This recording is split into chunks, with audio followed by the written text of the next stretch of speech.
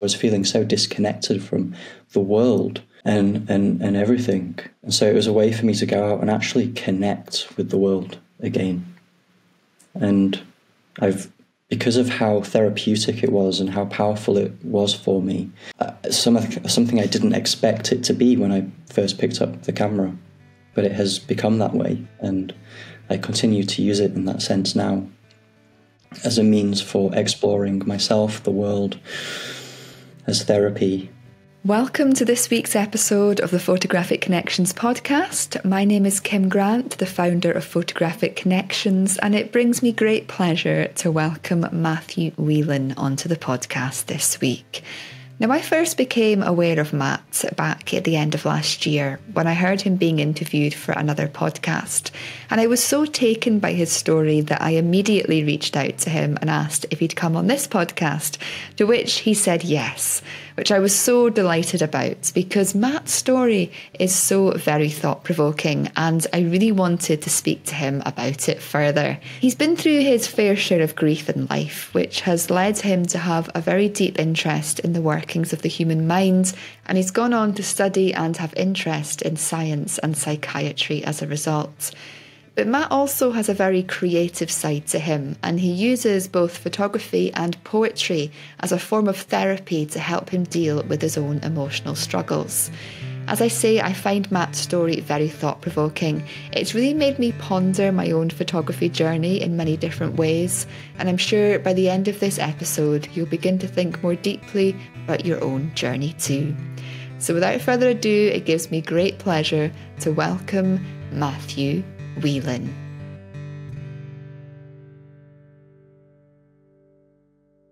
Hi, Matt. Thank you so much for coming on the podcast this week. Hi, Kim. Thank you for inviting me. It's great to be here.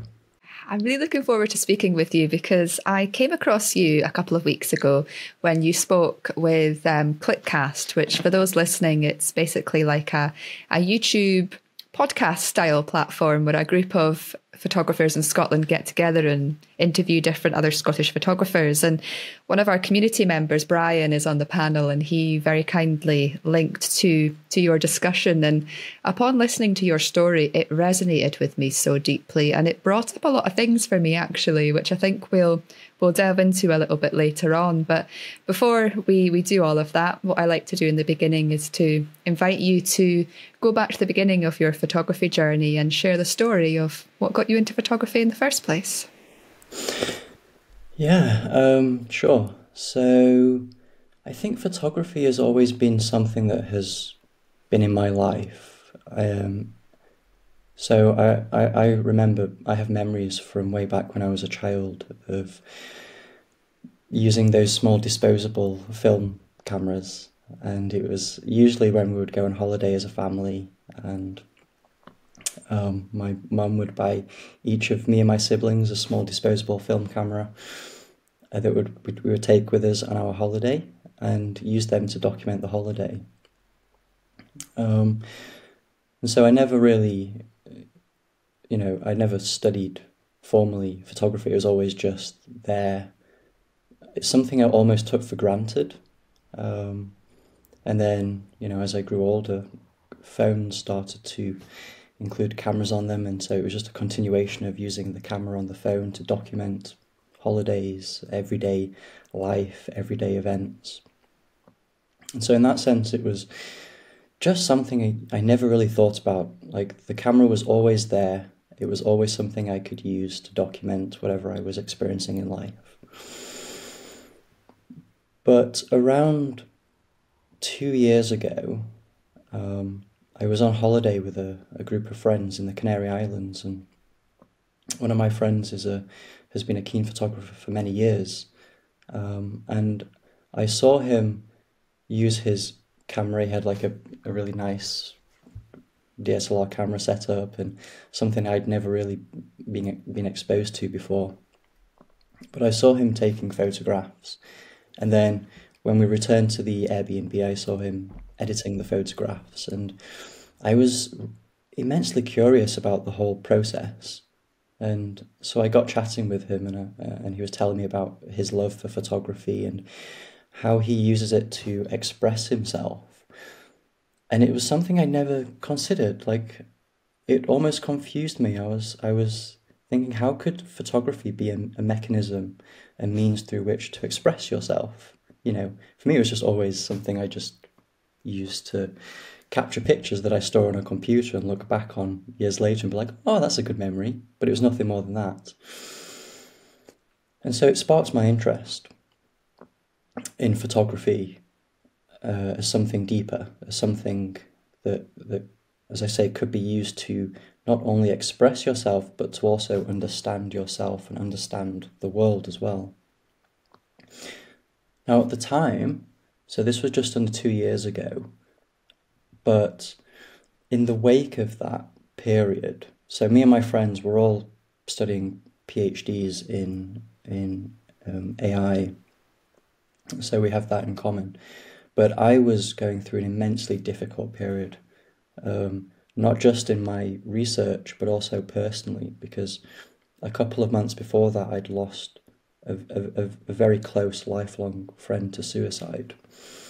And so mentally, I was quite lost and I was unsure of what I wanted to do with my life. It was I, I I almost quit my PhD at this point because when something like that happens, it just kind of throws everything up in the air, and you're like, you know,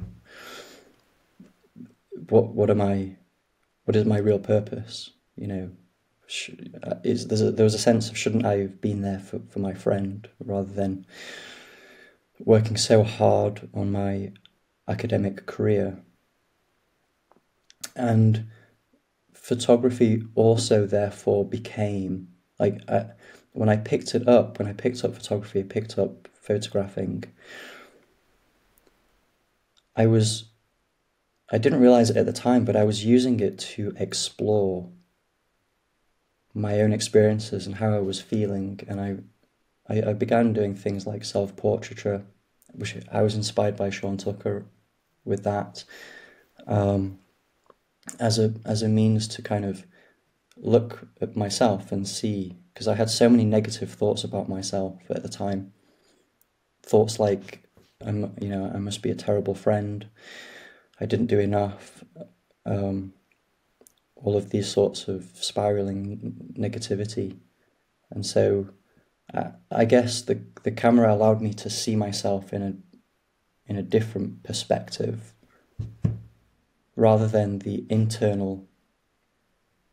It's hard to explain, but you know, there's an internal perception of myself that I had.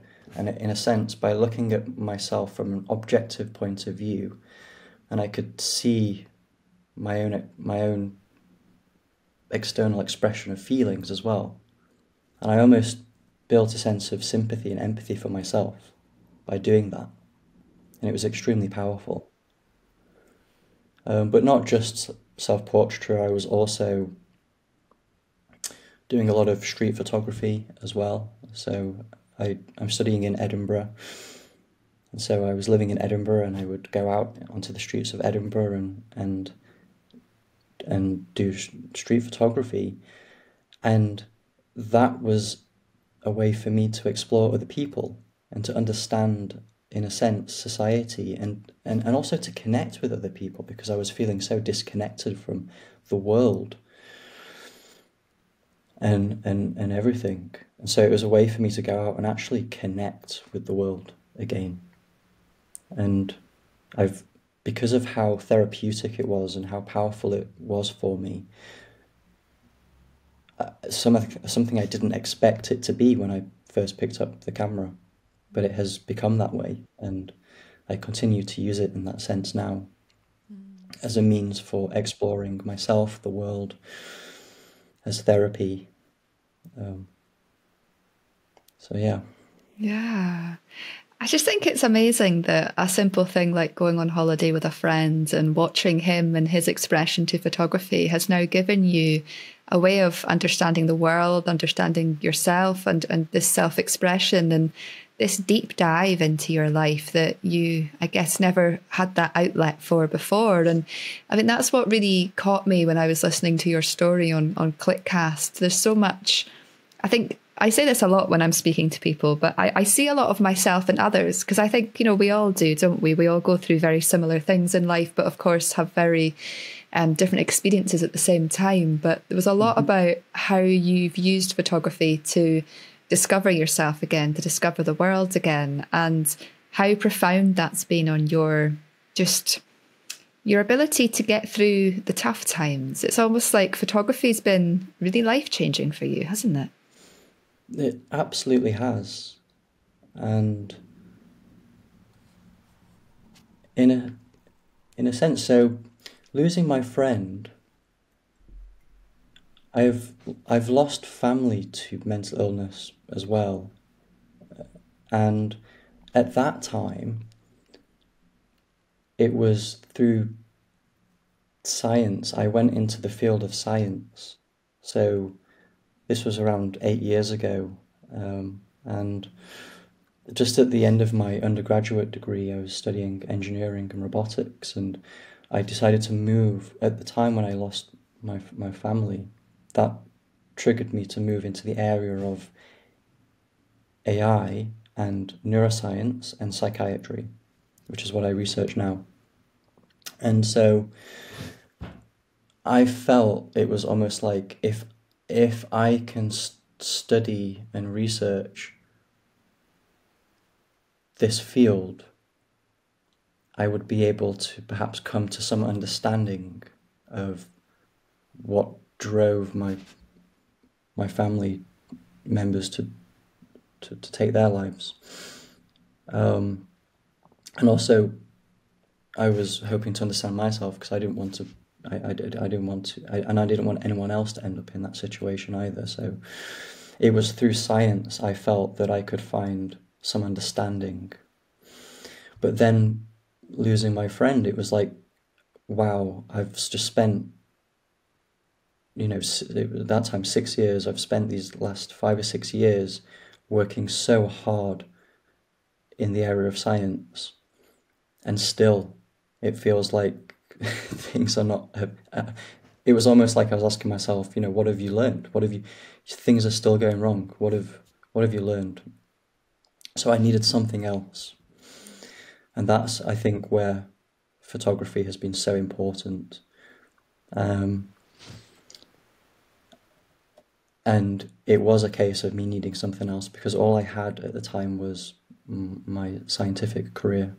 Mm. But you know, science is is a, is an incredibly powerful system for understanding the world, but it's limited in many ways. Um, it is it's very limited in terms of understanding concepts, subjective experiences that can't really be expressed in symbolic terms, you know, in mathematical theorems and even in, in words. Whereas art, like through visual arts or through sound, music, or other other areas of the arts, you can express, I think, subjective experiences that allow other people to feel them and connect through that. And I never considered that that's what art could be. um, but yeah, I, that's what I discovered when I when I began doing photography um, so in that sense, it has has made a yeah, it's transformed my life really.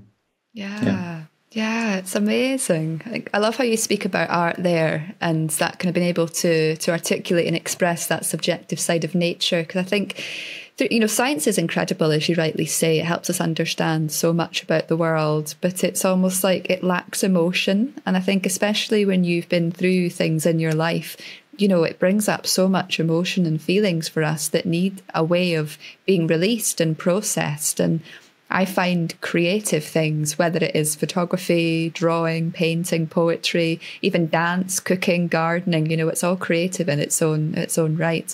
You know, it's about finding that mm-hmm. outlet that we can physically move. And, you know, photography, we're physically out there walking around, moving, we're visually seeing things, we're then creating these images. And I know in, in the photographs you create that you play around quite a lot with different settings in your camera, doing things like long exposures and having parts of your images out of focus as well, because you're not trying to, to photograph what's in front of you. You're trying to internalize things, I guess, and make sense of them by using the creative side of photography to to show the world, I guess, what you're feeling inside, but also what you're seeing. And then sometimes you create images as well, don't you? And then you go home and you connect them with emotions and experiences that you've had in your life. Yeah, yeah. Um, I do take, I do experiment a lot with the camera, and I do bring some of my scientific discipline into it in the in the sense of just wanting to experiment and test all the possible various combinations of settings and locations and see what I can get out of it. And sometimes I will have an intention. So I've had days where I wanted to express a particular mood and I had images in mind. So, for instance, I wanted to express the feeling of of shock and and and and confusion at, at, at receiving the news of like a, a, a death. And I knew okay if I want to express this feeling perhaps I can use motion blur and I can edit the images in a way that just is very unnatural. It's very disconcerting. It's quite jarring to look at the images. And so I will go out and shoot images with that in mind. But there are other days where I have no real mood that I want to express. It's just a case of let me just go out and see what I can photograph and just I just I you know I, I, I remain as open as I possibly can be and just let whatever I feel at the time in the moment dictate what I photograph. And it's only in re- in uh, retrospect where I will look back at the photographs and then apply some meaning to them and some emotion or, or or relate it to some event that I've experienced in the past. Um, and so that's another, yeah. I'm not entirely sure if the second method, how true that is, whether what I impose on the images that I take is really what I was unconsciously trying to express when I took the image. I'm not entirely sure if that's true. But just the process of being able to use the photographs to explore my own experiences in itself is very, very powerful, I think. Mm. Yeah, definitely. And there's like the two sides to that coin, isn't there? There's the going out and expressing certain things, but then the coming back and looking through your images and then deciding which ones speak to you and, you know, what are they saying? Why are they speaking to you? And then you often combine that with poetry as well, don't you? Yeah, I do. I think poetry is also a fantastic way to explore yourself and to understand other other people who have explored themselves through through poetry as well. And I actually had this idea where, because as I was researching for a few years, um, perception and how we perceive the world, and I was working on a theorem that um, it's built on a famous Scottish uh, mathematician called Thomas Bayes, actually. So the theorem is called Bayes' theorem. And the idea is that the way we perceive the world is through the combination of the sensory experiences that we receive. So everything that we, you know, we, we see and hear and, and touch and taste, etc. And a prior model a, a kind of understanding of what we expect the world to be like that's kind of built into our our our brain in some sense. And when you combine these two, that's how we perceive the world. And so I had this idea of relating that theorem to my art, and I was considering the fact that perhaps photography for me is a way to change the sensory experiences that I receive in life. So I, I can go into different environments. I've I travel to various different places just for the sake of photographing. And so I'm really changing what I'm experiencing sensorially there. But then poetry is a way for me to explore kind of the inner model, my internal world and perhaps to alter it in some way to change how I feel about events, people, um, that sort of thing. And so I wanted, I wanted therefore to bring these two together. I wanted to bring the photography which explores the external world with my poetry which explores my internal world. And by combining them together, I can kind of control and change how I perceive the world. Mm-hmm. And so that's where the two came. I've always written for most of my life. I enjoy writing. And it was only when I picked up photography a couple of years ago that I found this space of being able to combine the two. Um, yeah, and I like the process. I, enjoy the process of looking back at images and seeing what words kind of um, um, emerge from from from the images that I look at. You know, because they the images give you feelings, and they in, in in and of themselves they are events that you can write about. And poetry is all about writing about particular feelings or emotions or experiences. And so, in a sense, it's it's quite easy to use an image to then write a poem because mm. you've got the event there in front of you. Yeah. Yeah. I think what I really love when I'm listening to you speaking is the balance that you have. You know, you speak there about the internal and the world and the external world and how you're combining that with photography and arts. And you also speak, you know, about your interest in studies in science and now combining that with with photography, you know, creativity and art. It's like there's a real balance there with you and it's almost like you're combining your left and right side of your brain to really deeply articulate and understand the world around us. It seems like it's something that's you know it's really important to you to be able to to try and understand the world and why things are happening but also to be able to do it in a very balanced manner. And it's um it's very authentic authentic in many ways and just allows all these different avenues to be explored and, and come together to bring a complete picture, which I guess, you know, not a pun there intended, but it's, um, do you know, you're just bringing all this together in the photography and in your expression. I just think it's a really beautiful way because you're not just, it's not that you're just focusing on one thing, but it's like you've brought all of your interests together to create artistic work that that is so true to you, you know, and it's it's but equally it, it um it inspires and allows people that, that, view what you create to feel something because there's a, a relatability about it as well. Hmm. Yeah, I guess. Um, I've never, I often don't feel balanced in my life, I have to say. And I guess it comes from I guess it comes from often me going down a particular route because I can become quite obsessed with certain things. Anything I undertake, I can become quite obsessed with. And I will go down that route for a long time. But I usually reach a point where, where I've found my limit and I go, okay, there's not much more value that I can get from this. And then that's when I stop and then I look back and I'm like, okay, let me let me see let me see how all of the skills and everything that I've learned from what I've been doing have contributed to my life. And but also what gaps has it left? What areas have I not explored? And then I'll go and try and fill those in and explore something else. And so I've always, I used to frustrate my, my parents because I would, when I was younger, I would always be asking for new things like a new musical instrument or a new piece of equipment.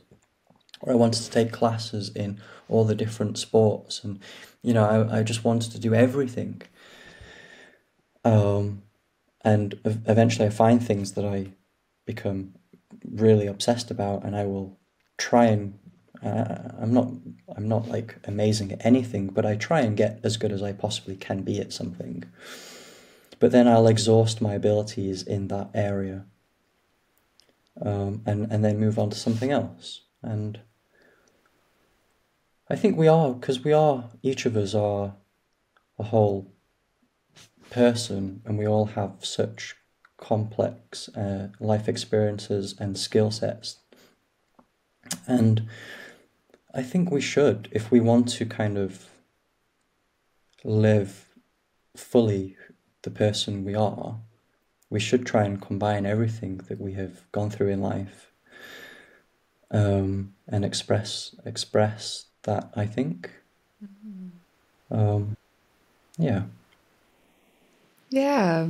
Yeah, I think I like to believe that everything we've gone through in life has been I guess to teach us things, but also to give us the strength to then go out there and and share these things so that other people that are going through similar things, you know, it's it's almost like I just feel like we're here to almost learn, to overcome, to understand the world, to I don't really know what I'm trying to say, but it's almost like there's a real, I think, need for people to have that exploration. And it's not something that everybody feels able to do. But I think when we can do it, it can lead us down some really interesting paths and discovery. And it also, like I say, gives us that strength to then help other people. And, you know, with what you're doing now, your interest in psychiatry, and also, um, you know, with you posting your poems and your photographs online, it's like that is positively reaching people and helping them through similar things in, in many respects, but also they've got their own personal experience that they can tie to it and take what they wish from it, which I think is one of the most mm. beautiful things about art. You know, mm. when you have pieces of artwork that have been genuinely created from a a raw place rather than simply photographing or painting or writing what we feel we should. It's like you're speaking from the heart and it really, really connects with people. And yeah. it's also like when you then listen to you speak it's it's just very clear that you you're just able to bring all this together in a really beautiful fashion. And that meaning i think is what really spoke to me about about what you do is is the meaning behind it all. You might not articulate it or feel it in the moment but when everything comes together there's great meaning and depth in that and it's not something that a lot of people really struggle to do that. Um, so I almost wonder, like, this is probably a very difficult question to think about or, or answer, but you know, I think we kind of go around two paths in life. So like some people can go through a lot and they just kind of get very stuck in in where they are. And you know that's not a judgment. It's just you know they don't know how to overcome things or how to work through things. And then there's other people who they go through really difficult times and they feel all of that emotion and somehow they're able to to evaluate it and go on to to do similar things to what you're doing now. And I almost wonder like what do you think gave you the strength to try and understand what you've been through rather than letting it consume you? And of course at the time it would have done, you know, you were grieving and everything, but what do you think you've been able to do and being able to to work through that and, and get to a place now where you're trying to understand things and articulate them and and move through what you've been through? Hmm. Yeah. So i th- i think for me it's probably having a sense of curiosity always and being curious, I don't think that I would I wouldn't call myself, let's say, optimistic or pessimistic. And I often feel a lot of negative feelings. So I still feel them. But I'm an immensely curious person and even before I I've lost you know family and my friend I was I, I consider myself a very spiritual person so I've I've practiced things like mindfulness meditation I grew up in a very religious family um, but I kind of left I left the religion that I, I, I grew up in as an adolescent but I still internally am, feel very spiritual um, and have a sense of, I think, awe about life and why we, you know, I always ask the questions, why are we, why am I here? Why are we here? do we have a purpose? Um, and I don't think there, are, I don't think there is an answer to those questions. And I like the fact that there isn't an answer because it means there's always something to learn. There's always a reason to keep on attempting to understand our life experiences, regardless of how negative they, they are. And I think that's it is that sense of needing to understand, or not necessarily needing, but if if I ever feel like life is too much and I just can't emotionally cope with what I'm experiencing, I'm able to somehow bring some curiosity to that and and and take take an objective view of myself and just explore those feelings and the thoughts and I think as humans, we can get caught up in our imagination a bit, not imagination, but we can get caught up in our thoughts too much in, in the sense that if you're experiencing post traumatic stress disorder, for instance, you will literally experience the traumatic event even though the traumatic event, event is no longer occurring. And so if, if you looked at yourself objectively, you could see that you're not actually experiencing the trauma that a part of your brain thinks is thinks is happening. And so being able to, I think, have that have a sense of mindfulness and curiosity about that experience, and I would ask myself, why am I, why am I so um, anxious or why am I so overwhelmed with grief right now? You know, I would ask myself those things, and I and then I would, I, I, I guess I would then take take that objectivity, take that view of my experience, and put that into my photography and my poetry, and or just write. You know, I, I, I I keep a, a, a journal. I've, I've been writing in a journal for, for many years. And I think that also helps me to understand my experiences. And the, the, the power of that actually is that if I'm going through something that is incredibly hard to deal with, I will write it down. I will write down how I feel. I, I you know, I, I have some really things that I look back on and read and just still, you know, it, it it's hard to read because it, it was so, I was feeling so, so down and at the time.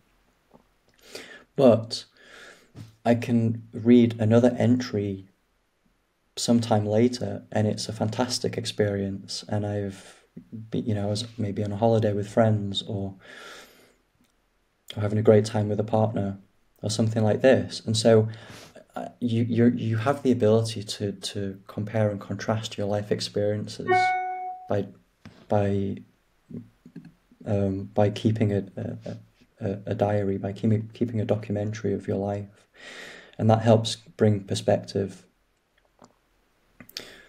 So I think also that is yeah, that is a huge a huge help to me mm. to bring perspective in that sense. Yeah. It's very clear that writing is very important to you in, in your process, not just with articulating your photography, but of course with, with everything you've just explained there, with understanding your life and stepping back and looking at things objectively. And you know, it's really interesting because of course I've like I've done photography for many years now, almost 15 years, and I've always struggled to call myself a photographer because while I I clearly am a photographer and I use photography to articulate the world. It's like for me, there's always been this deeper sense of what photography does. And it's not necessarily the imagery, it's like how I feel when I'm out there, the experience I'm having, the emotions I'm having, what it's doing for me in that moment, how it's making me feel. And I've realized, you know, that mm. I hmm. can't always articulate that in simply a photograph. Which I guess is one reason why I started uh, filming YouTube videos. I've had a YouTube channel now for five years because then I'm putting the visual together with me vlogging or speaking or doing voiceover about what I'm seeing and sensing and experiencing.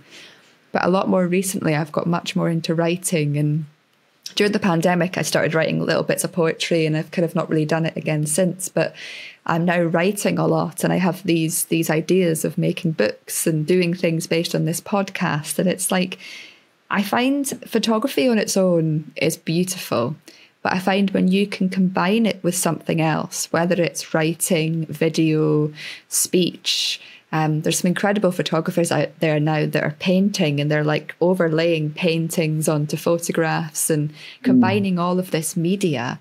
It's yeah. almost like it, it gives us that complete story and it allows us to bring all these stories and articulations together into one creative expression and but i do think there's something about writing because you know they say don't they when you write it's like you're taking your thoughts out and hmm. physically putting them onto paper and it has to be done physically doesn't it it's almost like typing it's yeah. not quite the same yeah. um, but it's so powerful and that combination i think just listening to you as well and how you use it to help you through the struggles in life it's um it is it is powerful. And that curiosity i think is is so is a great way i think to view life. You know what, what am i going through? How am i feeling? What am i sensing? What is this bringing up for me? What does this photograph make me feel? And then we can objectively look at that and th- and try and overcome it. Which, um, yeah, there's just a lot of wisdom in what you've just shared there. yeah, thank you. It's so nice to hear that you you picked up some poetry as well, and that you've started writing. And can I ask what what what it was that drew you into into into the like into into writing poetry and writing? Was there anything specific that? Well, it's really weird because when I look back at school, um, when I was in secondary school, English was one of my strongest subjects, and I actually found a card that my English teacher had written to me before I left school. Um, you know, kind of telling mm-hmm. me to keep writing and all this kind of stuff, and I'd forgotten about it. And I think it was refinding that during the pandemic that got me to start writing again. And you know, through YouTube, I've spoken so much and I suddenly started writing little poems or little voiceover bits that I wanted to articulate because I just felt there was something about it, something about that physical writing. And I think also in my own uh, mental health journey as well, I'd read in many books the power of journaling and the power of putting our, our thoughts onto paper and trying to articulate what we're going through. And I just slowly started doing it and it's just become more of a of a process now and something that I'd love to actually turn into books you know like yeah. tell my life story tell the story of this podcast all that kind of stuff because I, I always say everybody's got a story in them and that was one of the reasons why I started this podcast to tell people stories but mm-hmm. I love reading and I kind of think it would be great to whatever we love it's almost like you taking all of your things together it's like if we love something can we produce that ourselves you know because it's it speaks mm. to us you know you love reading let's write a book or yeah so that's kind of yeah. yeah. I don't know if that answers your question, but yeah. No, no, it does entirely. Yeah, yeah, yeah, yeah. It, it, it is hard to explain why. I, I find it hard to explain why I write write poetry, but I it does. There's a there's a there's a there's value in externalizing your internal thoughts. But also, it help. I, I find that it helps you order your own thoughts as well. So, as you say, if you physically write, you can't write as fast as you can think. And so you have to be very selective. And also, when you're writing, you have to write in a, sen- in a, in a way that makes sense. It has to be coherent. But if you analyze your own thoughts, you'll see that it can be very incoherent and it can jump all over the place. It doesn't really make a lot of sense. You know, I don't know if you've done something like a stream of consciousness where you would just write whatever comes to mind, and often it doesn't make much sense at all. And so when you're writing, you have to really order and structure your thoughts. And so it, it can be like a feedback mechanism where, in order to write better, you have to order your thoughts better. Um, and, and, and when you're ordering your thoughts, uh, uh, when you have more ordered thoughts, you're able to make better writing. And yeah, better writing helps you, you know. So. yeah. Yeah, no, 100%. Yeah, 100%. And I also think, like, when you look at your poems and how you write and how you combine it with your photography, it, I kind of, when I was listening to you, speak on the Clipcast discussion the other week, I was, um, there was something when I was looking at your images and then listening to the poetry that you were creating, and then you were speaking about some of your photographs, and I really thought, I, I started looking at myself more deeply. Um, and I know this is something that that was kind of reflected back during that discussion as well. It's it's um, there was something in what you you are creating that was bringing stuff up for me, but in a very good way. But I was starting to look at my life and how I approach photography and starting to think there's always been meaning in my images, but there's actually so much depth that I'm still missing. And it's almost like I feel inspired now to to go out there and really delve further into that and then combining it, you know, with some form of writing or speaking and articulation, I think it's almost like these layers, isn't it? It's like we discover one part of ourselves and then we realize mm. there's a hidden part of ourselves that we still haven't expressed or shown. And mm. I think that's the beauty. It kind of goes back to what you were saying earlier as well. It's like in life, I don't think there's such a thing as being healed or such a thing as as getting to the end because you know it's like that onion analogy a lot of people speak about in the psychology world and in therapy mm. and stuff. You know, it's like you peel back one layer, then there's another layer, another layer. I think that's one of the beautiful things about creative expression is it's never ending. You know, you you you discover one thing about yourself and then you discover something else and um, I know through my own journey, like combining therapy and all that kind of stuff with with my own work and my journey, it's almost like it's those layers are getting peeled away, but then a new part of me is formed and a new part of me is formed. And I know something that's really important to you in your expression is that you are true and authentic and you're you're sharing, you know, how you deeply feel and I guess being vulnerable with the world. And that's very important to you because you want to be real. Um, and I find some people, of course, really struggle with that. It takes a lot of courage.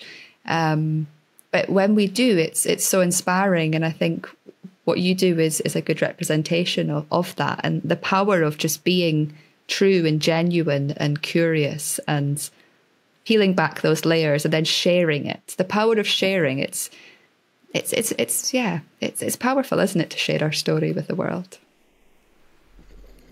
It is hugely powerful and it helps us as we understand ourselves and connect with other people through that and it helps other people who can discover parts of themselves in, in, in you and also connect with you as well. So I feel that sharing is a huge part of any creative yeah process and endeavor.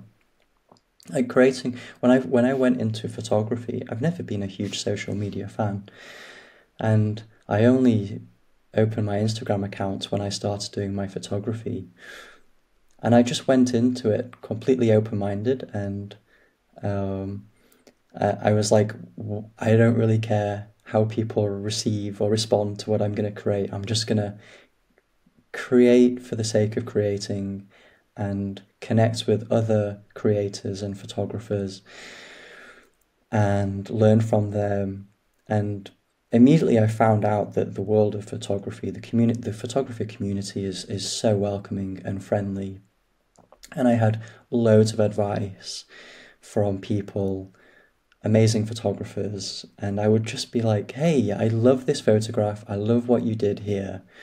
I wish I could do the same. Could you tell me a bit more about how you did this.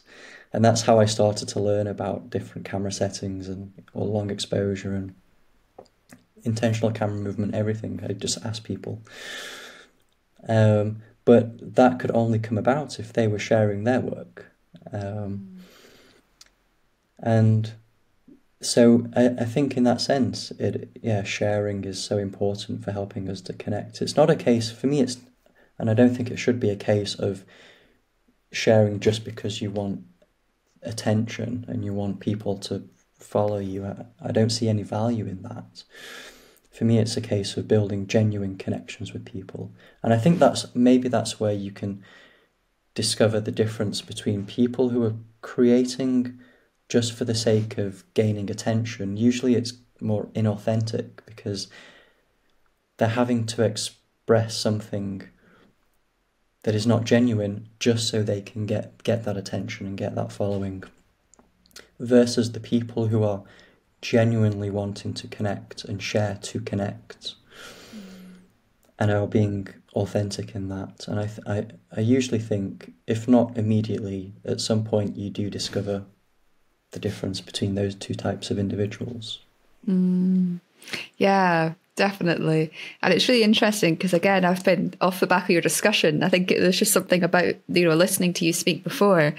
Um, you know, I've really been evaluating, you know, my journey. Like when I got into photography and started sharing things online, I had no expectations. It was just a case of I'm going to put these videos up, share these images. If people like them, they like them.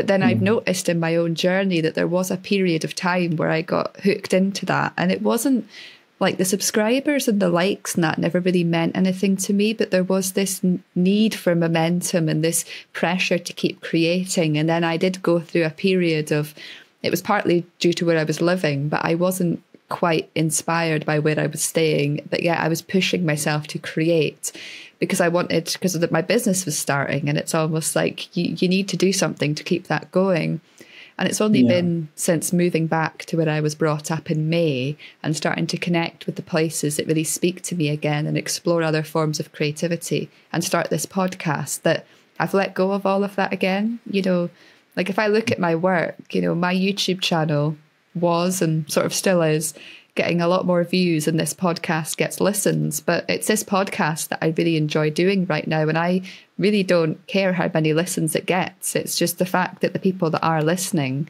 are are gaining a lot of inspiration and value from it. And that's where I'm going. I'm going now back to my true essence, I guess, of where I began. And the thing that's always been my biggest wound is I've always wanted genuine human connection. And I'm like, how can you find that if you're not being that genuine human yourself. And it's about me working mm. through my own layers in my personal life, but also my creativity to try and get to the stage where I am being, you know, and that authenticity has always been in my work, but it's just like there's been places where I've lost it. And now it's like, I just want to be genuine and true and real. But we we go up and down, don't we, because of, of fears. For me, I think it was mostly fear more than anything. And now it's just like letting go of that fear and just being like, do you know what? I'm human. I've been through a lot of stuff. Mm-hmm. I've probably done yeah. things that I regret for whatever reason. But if I can then learn from those experiences and sh- create art out of it and share it with the world, then that genuine connection starts happening. And, you know, a lot of people say if you could just help one person in life, then that's beautiful. And I think that's, you know, I get the yeah. sense that's where you're wanting to go, or, you know, maybe not where you're wanting to go, but that's what's very important to you. And, in your expression, and um, particularly because of your experiences mm. in that as well. It's um, a very nice way to go. yeah.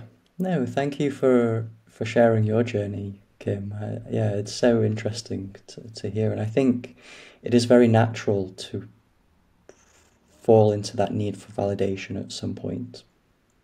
I think we all want to feel validated and to feel heard and to feel that we are a part of the world and that we do connect with others. But if we force it too much and we we don't stay true to ourselves and we're not authentic, then I think we can often feel even more alone, even if we're connecting with more people, because the connections that we build, if we're being inauthentic, if we're just doing it for validation, if we're just doing something so that we can get praise from people, the connections that we build are, are going to be very superficial. And they're going to people you i think you will feel that you're not connecting with anybody because the people because you're not expressing who you are. You're not being your, yourself. Um, and yeah, so you can feel even more alone in that. And so it is better. I, I always felt as well that I would much rather have a very small number of people who I genuinely connect with than a large number of people that I don't really connect with at all. And I guess, I guess that I'm, I'm a very natural introvert, and I guess that that is a, perhaps a consequence of being an introvert as well. Is just I, I feel safer and more more more connected with a small number of people who I strongly resonate with. Mm. But I also, because I don't know what it's like to have a business out of being a creative and doing creative work, so I guess I also I have a freedom in my in my artistic work because I, I have my job. I, I work in as a researcher, and that keeps me financially stable. And so, in, in my artistic practice, I feel a, a, total sense of freedom. I guess um, uh, you know I don't I don't require subscribers and followers um, and advertisers to make money. Mm. So I, you know, I, I I guess that that would be hard if I was yeah for people that are making a business out of it. I can understand how it would be very tempting just to fall into the trap of delivering content for the sake of the for the sake of the numbers and the metrics. It's interesting because I've got to a stage in the last few months where I don't really want to be posting that much online anymore. I want to become much more sort of insular is the right word, but I want to be more within my own world so that I have more energy to put towards my creations and to actually be able to create, you know, much more meaningful pieces of art, which I think, you know, require more time and consideration. But I actually like my my dream, and this is this is this is happening now, but my my dream is to help people, personally help people with their photography, which then puts that that space between my artistic expression, which, you know, I don't need to fear about making money on because that's not you know the business really. It's my free artistic expression. Um, but you know the the business side comes from helping people through workshops and mentoring and um, you know so that's and that's what, what I've always wanted to do is to really support people in life support them through the ups and downs and to mentor them and and guide them and you know give them experiences. But then like I have that very much that then different compartment where my creations there's no pressure for money. It's just like i can make a book one day and you know if it sells it sells. If it doesn't it doesn't. I've just got a nice book with all my my stuff in it and that sort of stuff. So but it's about getting to that stage of being true and being like do you know what? Actually what do i really want to do with the world? I want to create so it be true in my creations but i also want to help people. So it's like yeah it's it's it's been a big process but it's um a bit like our, our mental health journey. It's it's a never ending process of adapting and evolving. But um, the, the, closer we can get to who we want to be, I think, I think the better. Which is um, yeah, an exciting journey to take. Very exciting. And I think one thing we mm-hmm. I'd love to finish on, Matt. Um, you know, you'd mentioned at the beginning about your involvement and interest in AI, um, and of course.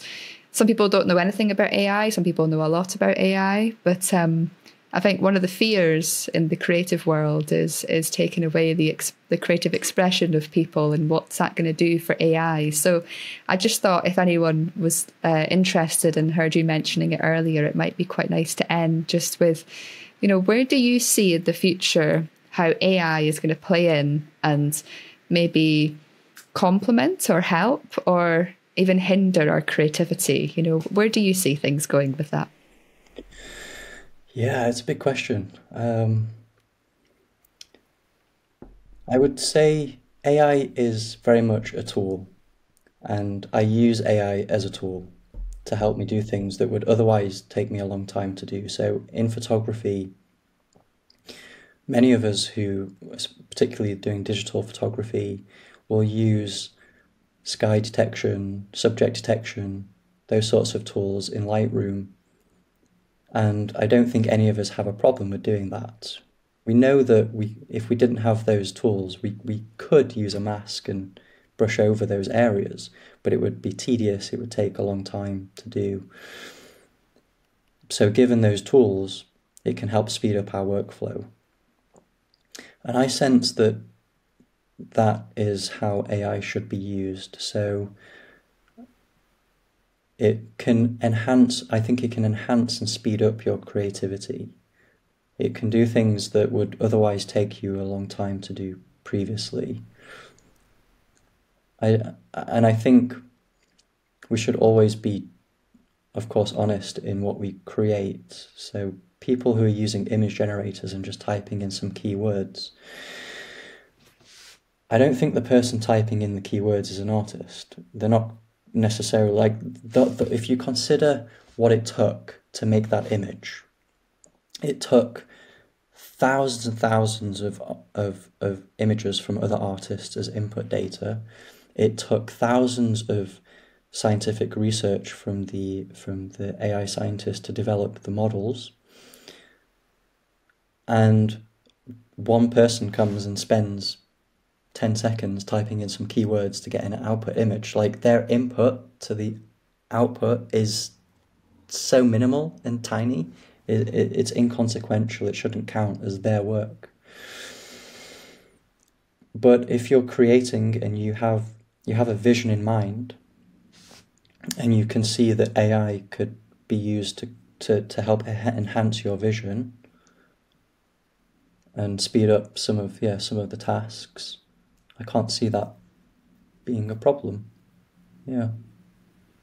Um, yeah. I think it's very obvious because